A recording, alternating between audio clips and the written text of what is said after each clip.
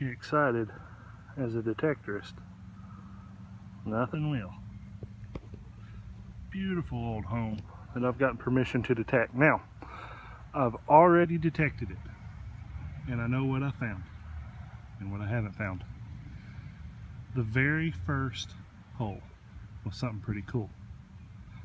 And the very last hole was something cool. I'm to show you the last hole first and then the first hole second. I'm literally heading to my truck. That one's mine. I wish that one was mine, but that one's mine. And I'm going sideways across the yard and I dig up a bale seal.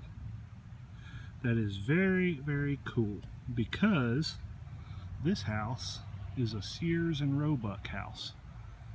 It's literally a package sold by Sears and Roebuck probably somewhere around 1908, 1910. The train tracks are right here and they used to run, well they do, they're like 10 feet beyond the edge of the road there. And this house rolled in on a train and was set up. I thought that was pretty cool. Had no idea that Sears sold houses. So, who knows? Maybe one of the old bale seals used to bind something up when the house was delivered. I'll clean it up. Maybe it has something on it, but it doesn't look like it. Very cool find. Oh, wow. Boy, it did clean up nice. That's the first identifiable bale seal that I found. So I did some quick Googling. It says Picard and Co. And then below that it says Bordeaux and that is a wine. So, maybe they shipped a case of wine in here or something. Cool piece of history.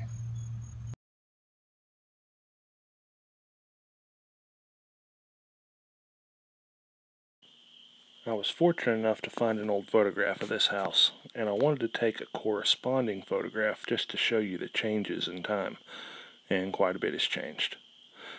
Sears and Roebuck offered these houses from 1908 to 1940, and in that period of time, they sold about 70,000. But there was a fire of some sort, and the records of where the houses were built were lost. They weren't small houses, and they are gorgeous.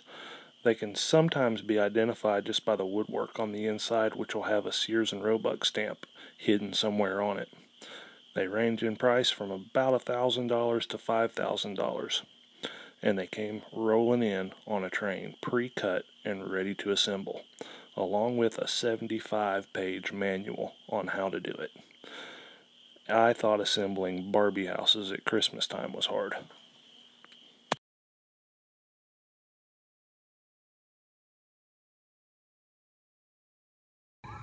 Well, if you're going to have a first target, that's a good one to have.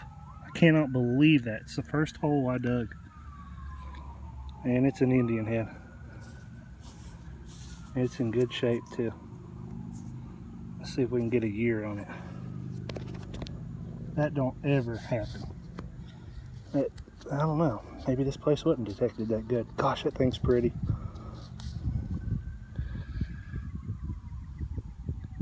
It's an 1800s.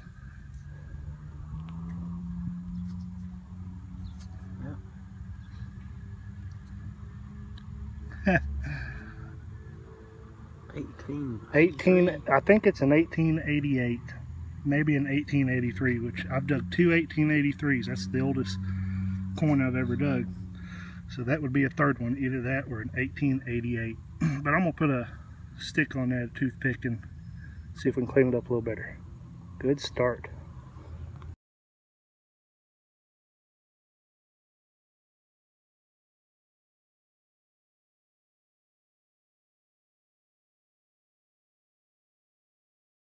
Well, I just dug something that I you'd think you'd dig everywhere. A jack. You would think those would be absolutely everywhere around the edges of roads and stuff, but it's the first one I've ever dug. Pretty cool. And I just got a cool old, I don't know, suspender buckle. Looks like that slides up and down. I guess that's what it is. I like it though. Well, it's not the oldest thing in the world, but it's cool looking. It's compact. Hold on a second. Come on. With the makeup in it. I don't know why that rang up loud, but it sure did. Oh well, I'm not in need of it. Well, I hadn't filmed one of these in a long time. I've been digging them pretty regular. Guess everybody does, but old paper shotgun shell. Western Super X. And that's always cool to find. Old key.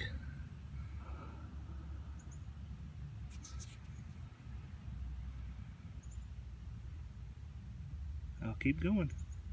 Well, what is that? Is that right there? That the top to a lantern?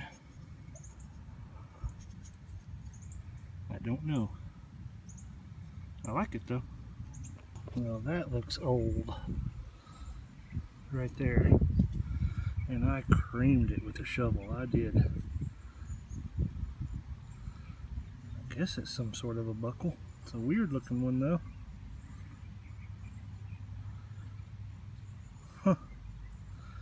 Man, did I cream that thing. I'll clean it up. I don't think it has any design on it. It may not even be a buckle, but no, it is too. Right there is where the tongue went. That's a cool looking one. Been a whole lot cooler if I dummy hadn't hit it. Oh well. Good find though. Alright, taking a break at work to work on a relic got my buckle back into shape and amazingly it didn't break. It did have a tongue on it and I'm kind of at a loss. I don't know what to think about this one. It puts me in mind of those bright colored church lady dresses from the mid to late 1980s you remember those? They had the big old monster three inch wide belts that went around the middle could be from something like that, you know, maybe it was covered with fabric or something. Um, but it's the right metal for something older and it's got the right patina. So, and it did come from a early 1900s house. So, you guys tell me, because I don't know what to think.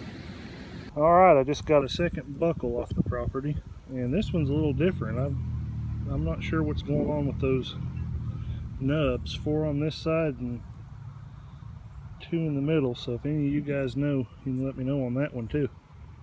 Interesting looking. Well, I'm sitting out here in my editing studio and going over some of the footage before I post it. And I realized I had one coin in this video. That's not unusual for me.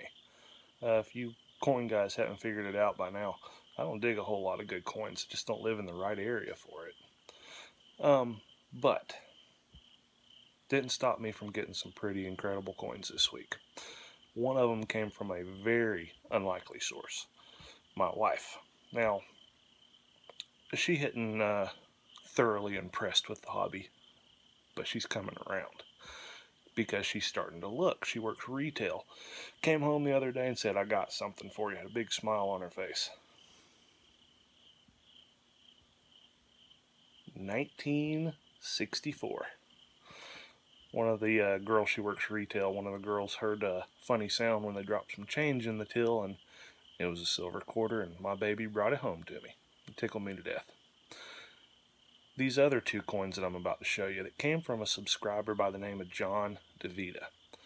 Now, he's not a detectorist, and he's just watched my videos. He likes the history, and he said, I want to send you something. Now, I don't know why, somebody goes, well, I'm going to send old History Hound something.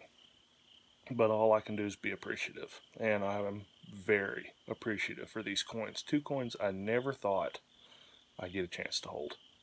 Take a look at what he sent. All right, well, here's the two coins that John sent me. The first thing I saw coming out of the package was that date, 1873.